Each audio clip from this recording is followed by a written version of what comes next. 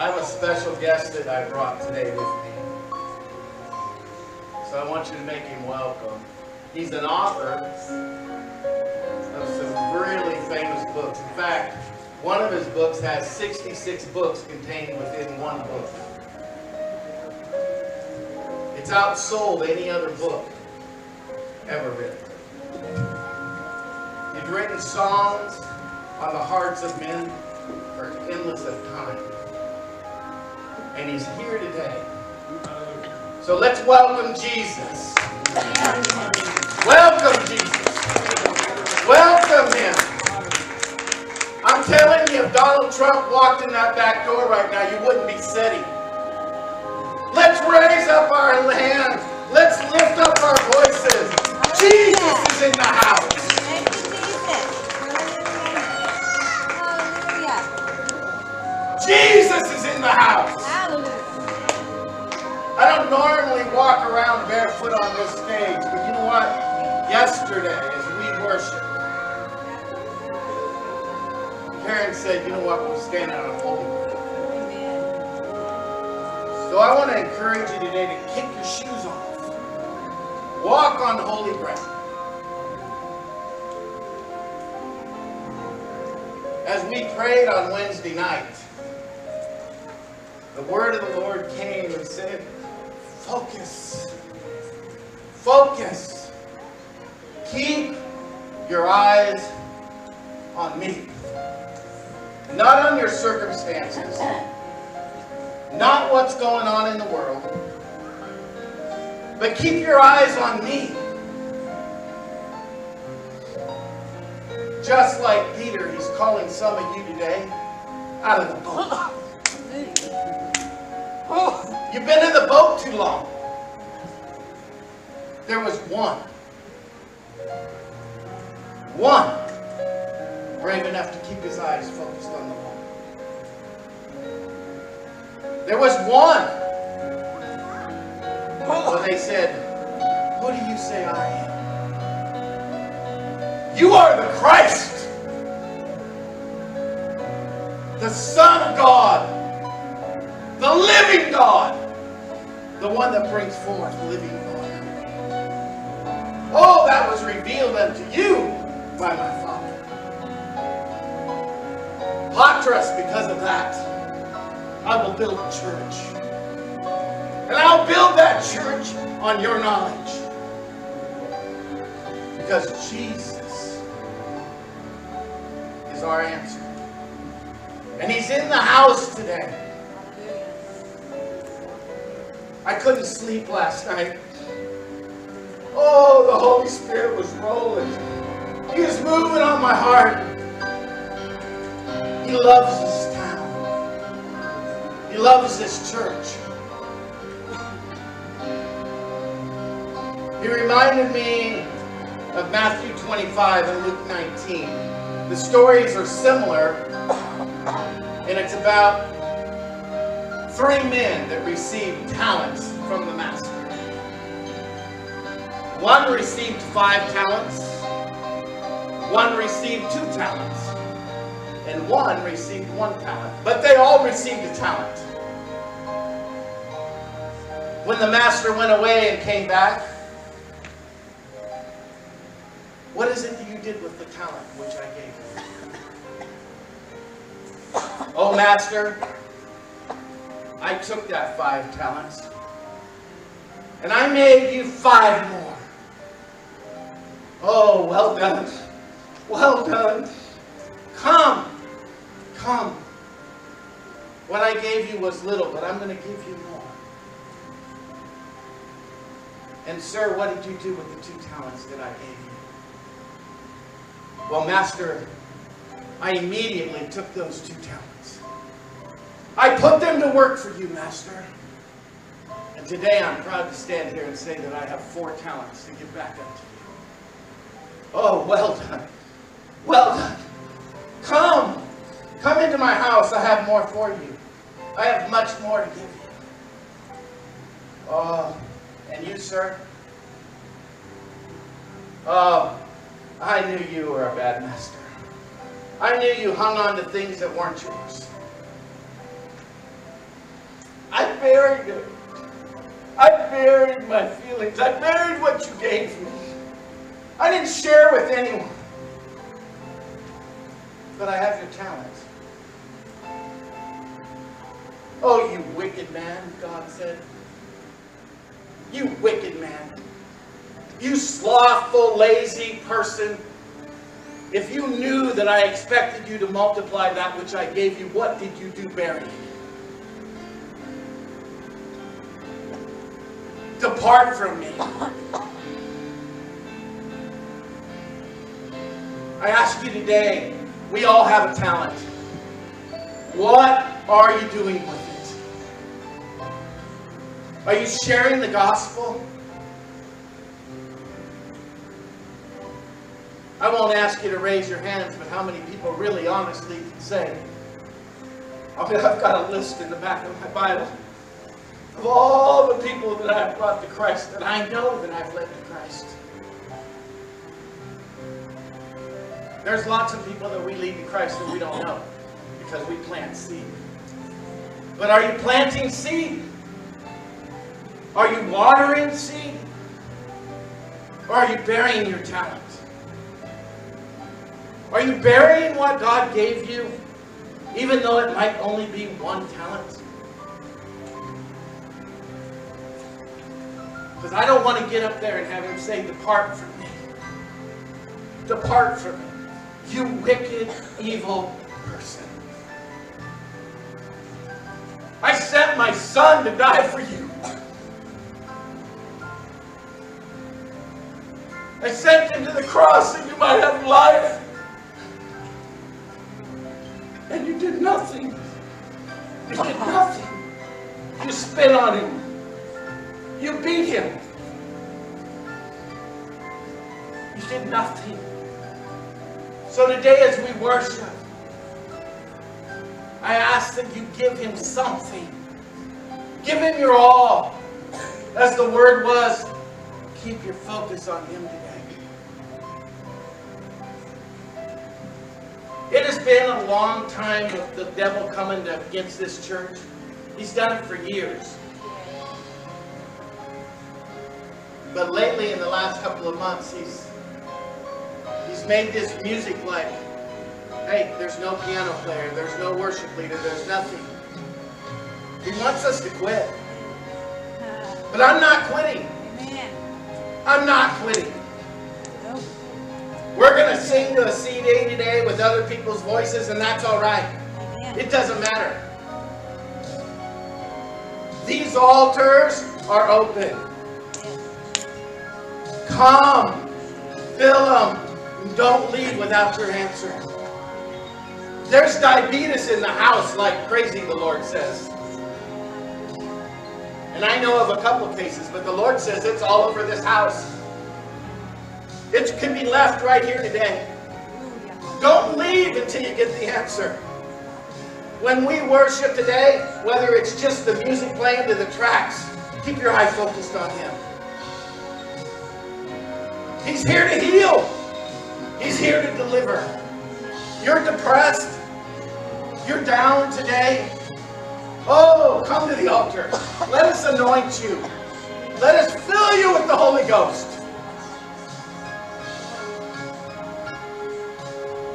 It's your day. It's your decision. He already paid the price. He's not going back to the cross. He's not going to take one more step or one more stripe upon his back. The healing is complete. He said to Palestine, It is finished. I have done my work. And I will deliver my blood to the seat of the Heavenly Father, to the mercy seat. And it is finished. So your healing is here today. Your salvation is here today. Your happiness, your peace, your deliverance, it's here today. It's your choice. What are you going to do with God, what God gave you?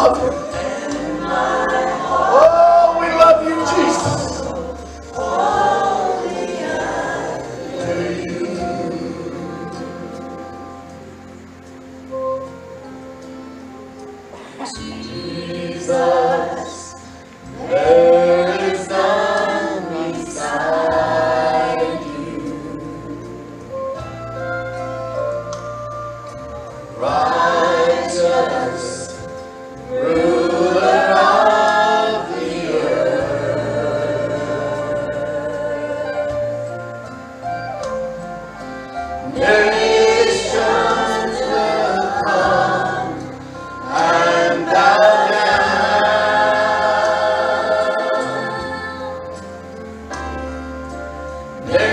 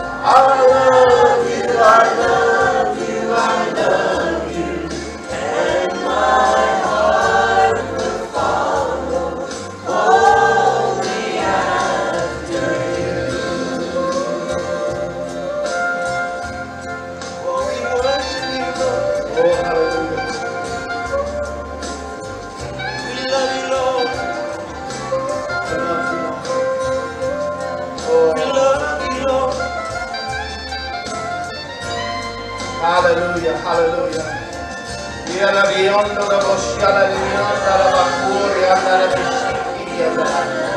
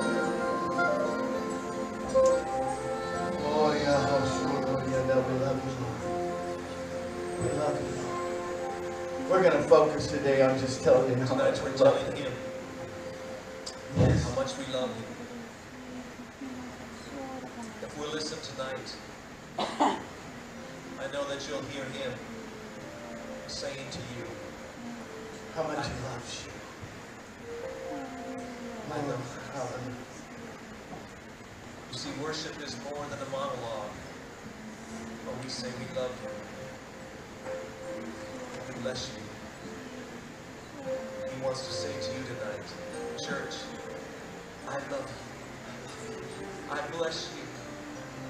Oh, Just listen to his voice today. These are his words to you, this church. I love you more, more than ever.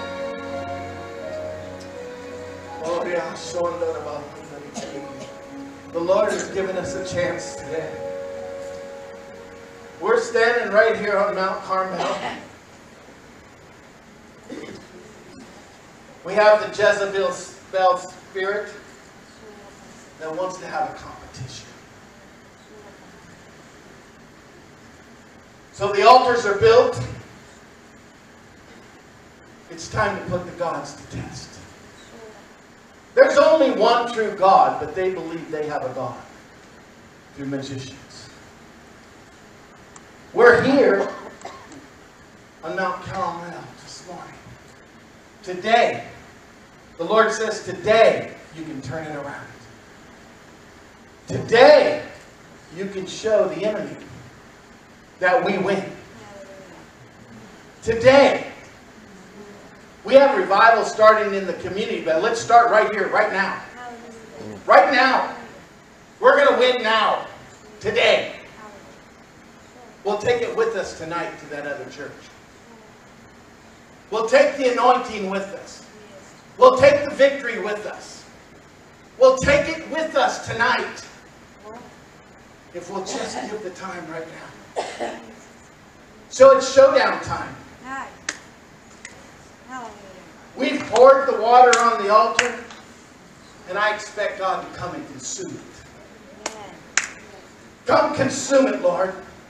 Consume each and every person out here. Refine them through the fire.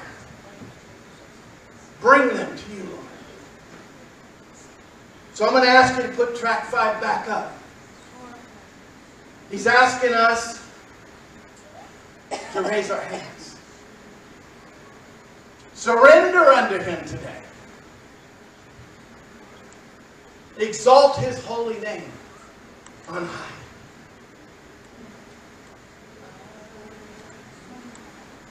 Want to praise you. Lift my hands and say, I love you.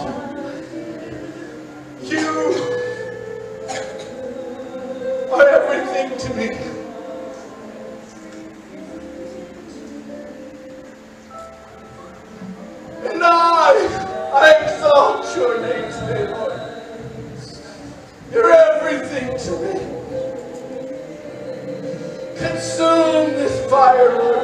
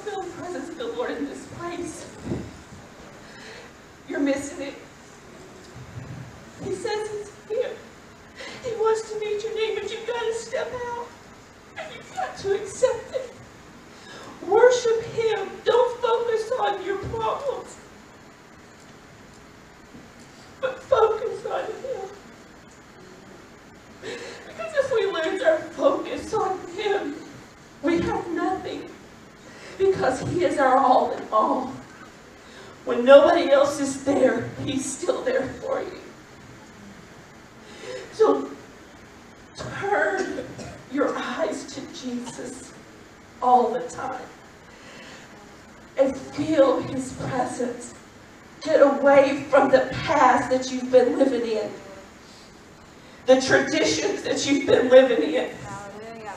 Traditions is traditions, but my word is always. His word stands over traditions. And we've got to break away from tra- traditions if we want to see things to be broke through. We need a breakthrough. People in this church needs a breakthrough. But you've got to be willing to get out of yourself and give yourself to God. It doesn't matter who's here because it should only be you and God. And we are here to pray with you and to support you. That is what fellow Christians are to do is to help and support each other through the time of their trouble. But God says His word is everlasting. Amen. His word never fails. Amen. Whatever word He gives you, it will never fail. Our plans may fail, but God's plans never fail. They never, never fail. We may stray off the path, but God's right there to get us back on track. Yes, Lord. But we have to be willing to let Him put us back on track and get out of ourselves. And so many people are, it's all about me. No, it's not all about you. It's all about what Jesus can do for you. Amen. Jesus wants to do more and more for all of us, especially in the days that we are headed towards. And we know who wins in the end. Amen. We know who wins in the end. But you know what? We still got to travel through this world. We are only passing through. But we've got to hold on to His grace and His love and His mercy and, and everything that He has for us. And today is the day to surrender everything you've got. As we prayed Wednesday night, as I said, God said, God told me, He says, he knows the struggles that we all go through. And I've been going through some struggles and I've had to redo myself. We went through struggles. But keep your focus on Him and love Him because of who He is.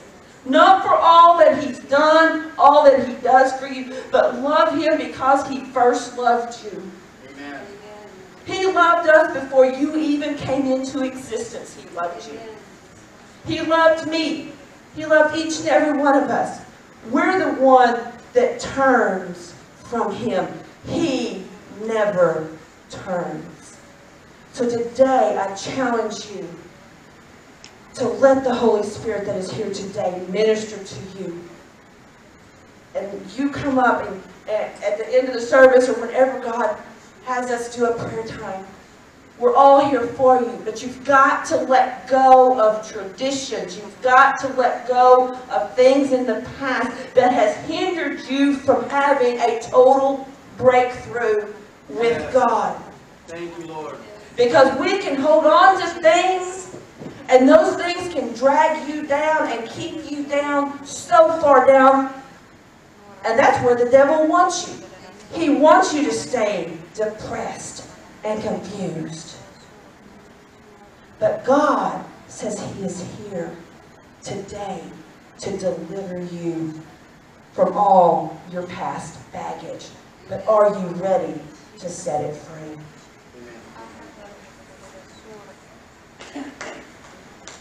Give the Lord.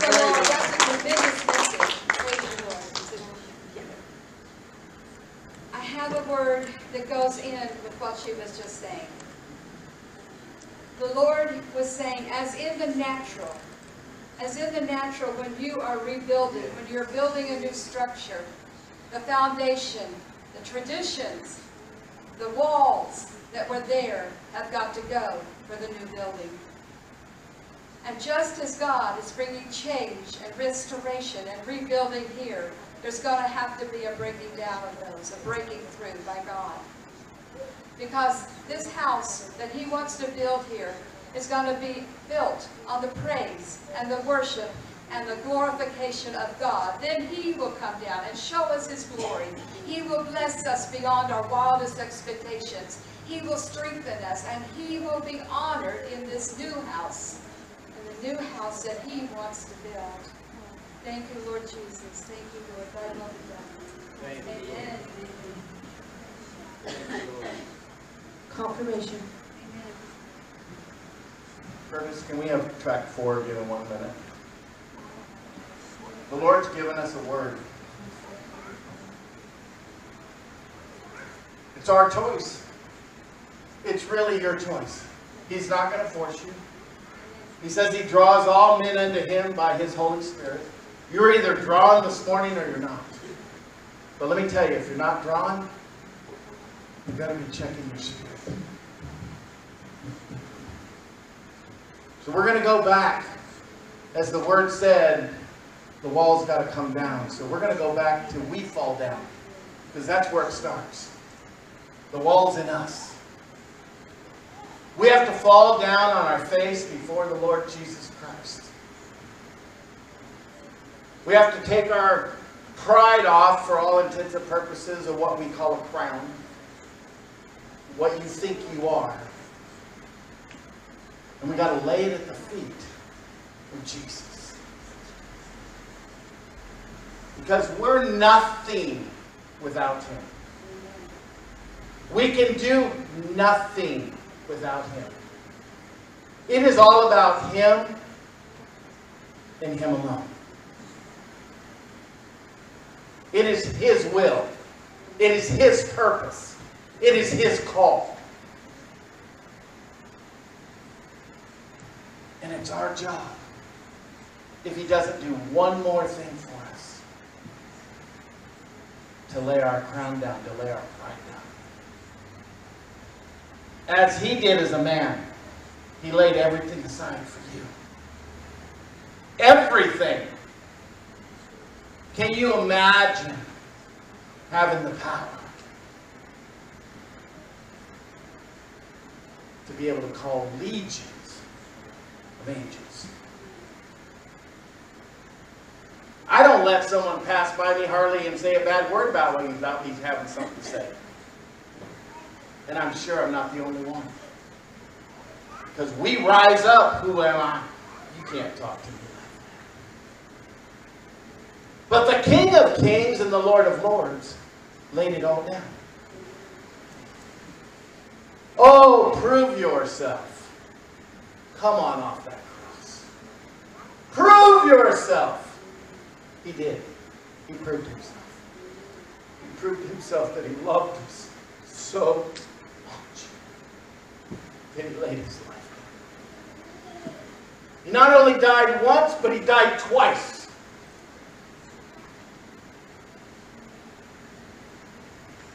When sin entered the world, the Bible says that you will surely die. And Satan comes along and says, Oh, you won't die. You're just going to have the same knowledge as the Father. You won't die. Ha! Did you see what happened when you bit into that fruit? You didn't die. See? Oh, there's another death. there's a spiritual death. Separation from the Father took place that day.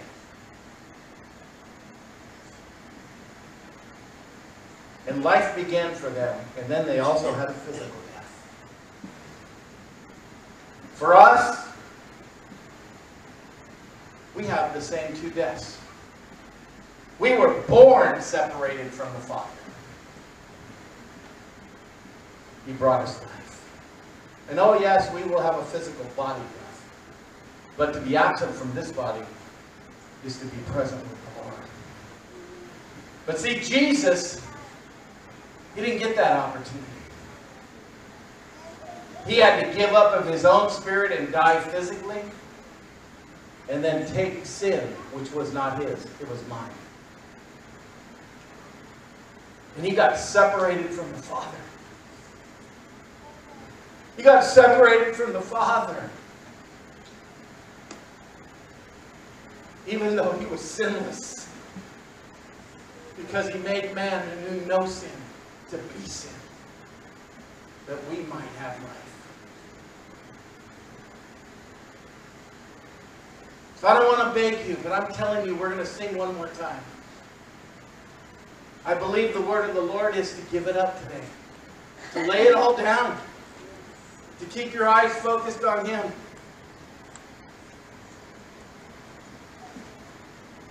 The percentage of the fact that all of us will ever together, together, together is probably highly unlikely.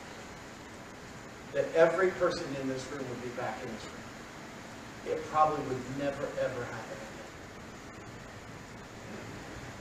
But we're here for an appointed time. So if you're physically able, stand. If you're not, kneel. But give it to Jesus today.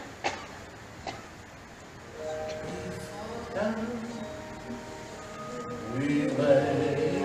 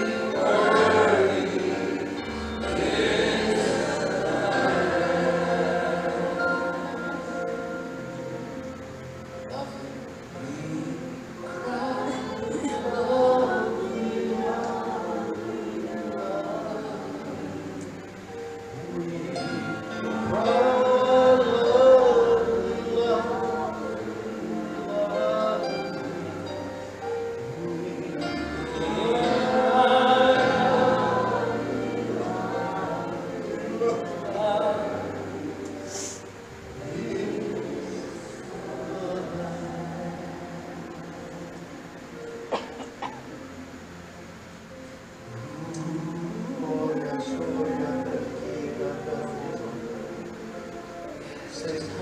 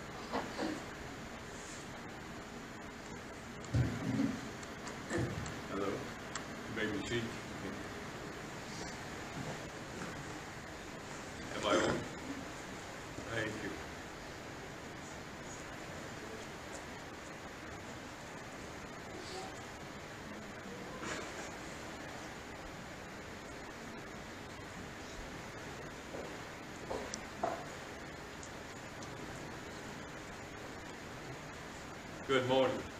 Good morning. It's nice